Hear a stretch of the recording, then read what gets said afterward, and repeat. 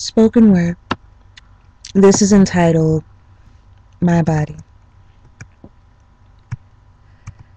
I've been waiting here for five hours.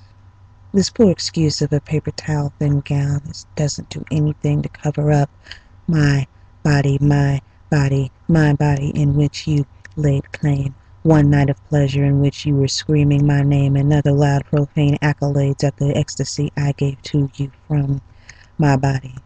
I sit holding my belongings in this small sterilite basket, waiting, waiting, waiting, unashamed.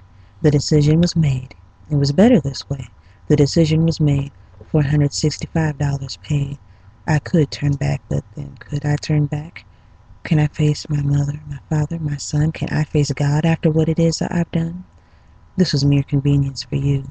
Can I continue on? This is my body, my body, my conscience, my mind telling me that you were nothing but a liar and my lonely desires fell prey to your slick words and tender hands, your sweet kisses upon my neck as your fingers wandered towards the button of my pants.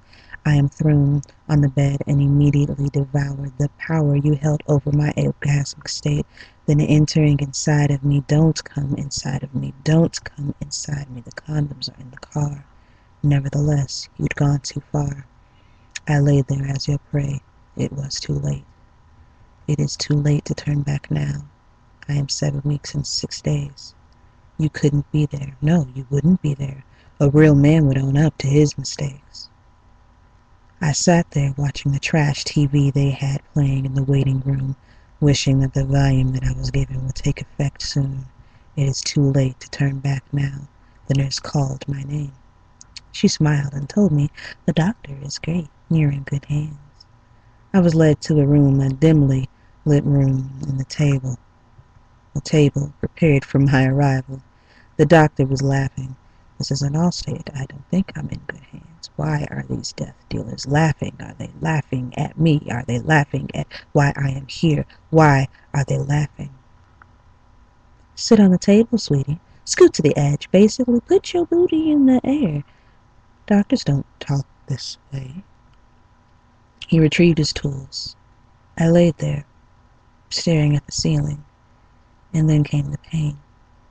The sheer hurt flowed throughout my body and outside of my body. My body, my body as I withheld my screams of agony. The tears filled my eyes as I knew no one would feel sorry for me. A nurse held my hand as she placed pressure on my stomach. The six week and seven day $465 mistake was being removed in the most harmful of ways. Fifteen minutes later, and then it was done. They were listening to the radio. The Bee Gees' Staying Alive was being played. Staying Alive. How ironic to hear as I endured this horrific pain.